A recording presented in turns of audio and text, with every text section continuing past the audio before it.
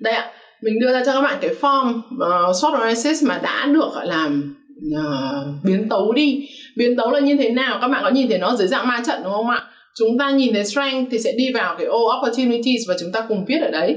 Khi mà đi thi ạ thì đây sẽ là vấn đề. Các bạn kể ra được một cái strength sau đó các bạn sẽ phải uh, nói đến là từ cái thế mạnh đó thì các bạn có những cái cơ hội gì.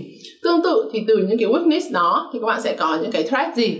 Và ở đây thì các bạn sẽ nhìn thấy là các bạn còn có thể có thêm hai phần nữa. Đấy là use the strength to avoid the threat and uh, overcome the weakness by the opportunities.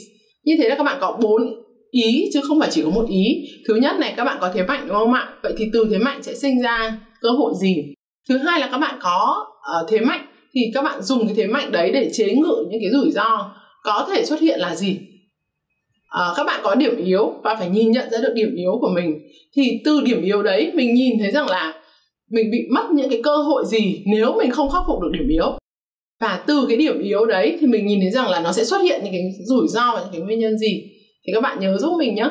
Để có thể được đạt được full mark thì các bạn phải hoàn toàn expert và rất là flexible trong việc sử dụng những cái form của SWOT. Uh, ờ, again thì mình có nói với các bạn rằng là cái mô hình này rất là quen rồi cho nên là mình sẽ không mất nhiều thời gian để nói với các bạn SWOT là gì nữa mà có lẽ chúng ta sẽ dùng cái uh, thời lượng để có thể đi vào chỉ dẫn cái cách để làm bài tập và tận dụng những cái thông tin từ trong đề bài để chúng ta có thể dùng SWOT analysis và cũng nói thật rằng là SWOT analysis thì dùng rất là nhiều nhưng bởi vì nó tương đối dễ cho nên nó sẽ nằm ở trong những cái case study phức tạp và nhiều thông tin chứ không phải chúng ta nhìn thấy rằng là những cái case mà đơn giản ấy, thì người ta lại thường nói rõ là người ta yêu cầu các bạn dùng cái mô đồ gì rồi.